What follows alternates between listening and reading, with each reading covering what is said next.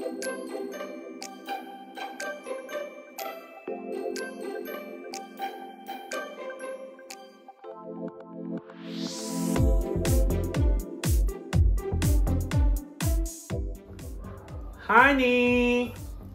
Honey! Yoo-hoo! Honey! No, no, no. I'm not actually calling someone.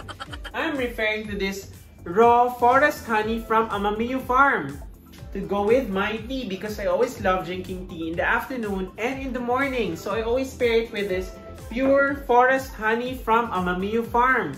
It's unprocessed, it's unheated, it's certified by FDA, and it has been tested by the Department of Science and Technology so you can be sure that it's pure and definitely has no sugar.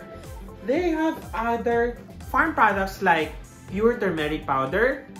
They also have this honey lemon ginger concentrate and they also have this cacao nibs and 100% cacao tablea.